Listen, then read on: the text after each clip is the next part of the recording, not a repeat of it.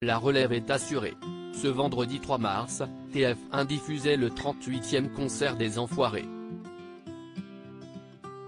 Pour l'occasion, Michael Goldman, découvert dans la dixième saison de la Star Academy, a fait une apparition surprise. L'introduction du fils de Jean-Jacques Goldman a été savamment orchestrée par la troupe. Quoi? Goldman est là? C'est d'abord écrié Cadmerad en découvrant un micro au nom de Goldman. Rapidement, la rumeur se répand dans les coulisses du show.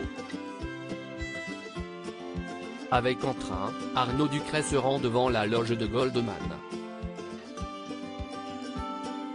Il l'interpelle, ah.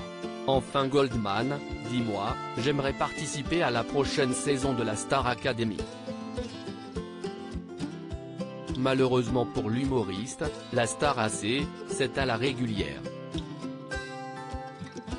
Cette petite mise en scène a particulièrement plu aux internautes. Sur Twitter, une femme a écrit, ou, génial le petit clin d'œil à Jean-Jacques Goldman avec Michael Goldman. Une autre s'est réjouie, Michael Goldman est venu aux enfoirés. De père en fils. Aussi, une cybernote a jubilé, bon Michael Goldman fait une apparition aux enfoirés, ma soirée est parfaite. Une dernière a exulté, oh là là.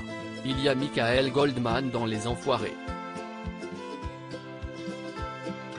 Point, je suis ému et je n'étais pas au courant. Le cachotier, belle surprise. Supérieur à supérieur attention ou amitié, Muriel Robin, Michel Larocque, Pascal Obispo.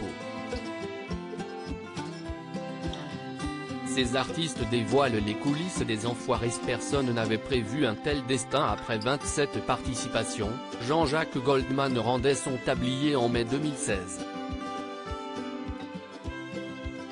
À l'époque, le compositeur de la chanson des restos écrivait dans un communiqué, personne n'imaginait que les restos prendraient une telle ampleur.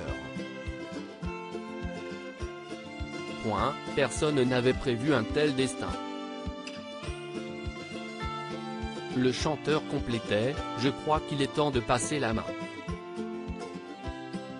Je n'ai plus la créativité, les idées, la modernité que nécessite une telle émission. Toutefois, il avait ouvert la porte à un possible retour, je reviendrai avec plaisir dans quelques années si l'on m'invite et si je suis encore présentable. Alors, un jour peut-être, les téléspectateurs découvriront à l'écran Goldman père et fils.